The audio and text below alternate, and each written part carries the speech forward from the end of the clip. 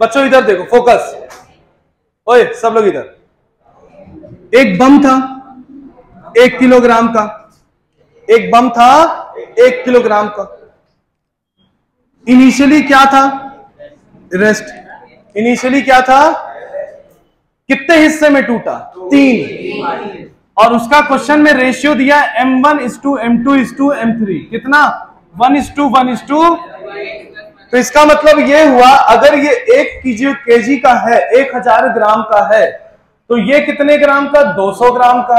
ये कितने ग्राम का? 200 और ये कितना? 600 ये कैसे पता चला? प्रपोर्शनल से। किससे पता चला? प्रपोर्शनल से। बोला क्या कि ये तीन हिस्से में टूटा और शर्त ये है कि दो हिस्सा म्यूचुअली परपेंडिकुलर है। दो हिस्सा क्या है? म्यूचुअली और कौन हल्का वाला। कौन सा? हल्का। हल्का कौन सा है बच्चों? एक M1 है और एक क्या है? M2 है। अगर ये म्यूचुअली परपेंडिकुलर भागेंगे तो कैसे भागेंगे? ऐसे। बोलो भागे।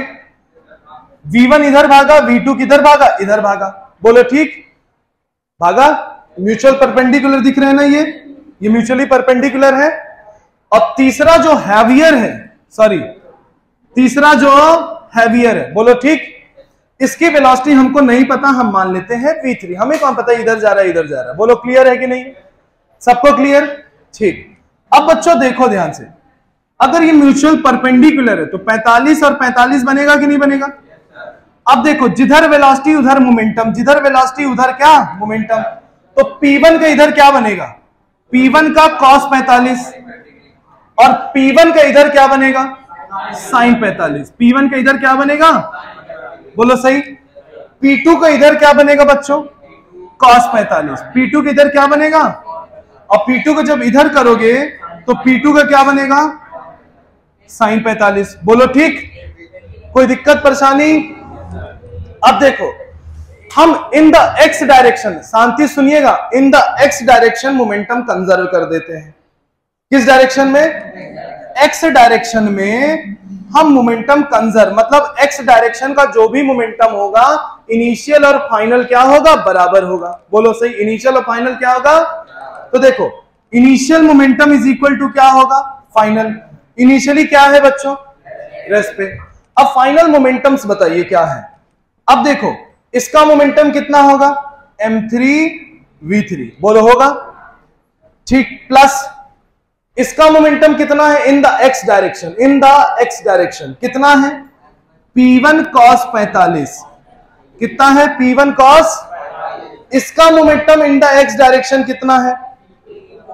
P2 कॉस 45 किसी कोई दिक्कत, परेशानी? अब है क्या?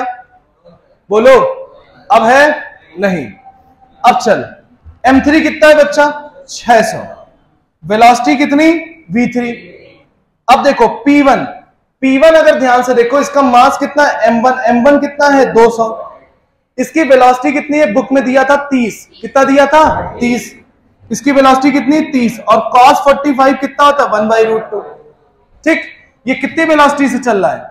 30 मीटर पर सेकेंड से। ये कितनी वेलोसिटी से चल रहा है? 30 मीटर पर सेकेंड से। अब चलते हैं P2 का नंबर आता है। M2 का मास कितना है?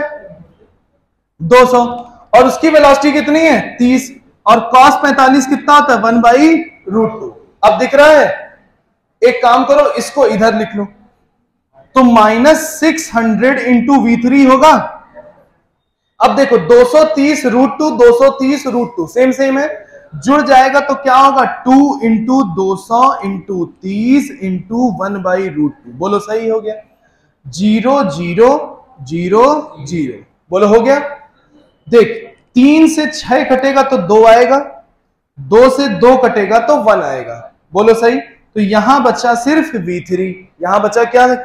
बी थ्री और यहाँ क्या बचा? टू बाई रूट टू कितना बचा? टू बाई ट्वेंटी बच रहा है? ट्वेंटी बाई रूट टू अब क्या करें? Root two root two multiply divide कर दें। Root two root two two हुआ। टू से ट्वेंटी कटा कितना आएगा? टेन टेन रूट टू और माइनस को उधर भेज दें तो v3 इज़ इक्वल टू आया माइनस टेन रूट टू ये हमारा आंसर आंसर प्लस की माइनस इसका मतलब ये वाला बॉडी किधर भाग रहा है? इधर। क्लियर हो गया? चल भाई। जय हिंद। चलो भाई, आज के लिए